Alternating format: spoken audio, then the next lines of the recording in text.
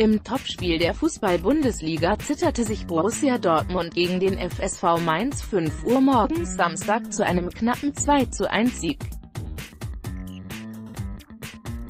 In der zweiten Halbzeit präsentierte sich der BVB nicht wirklich wie ein kommender Meister. So reagiert das Netz auf das Spiel.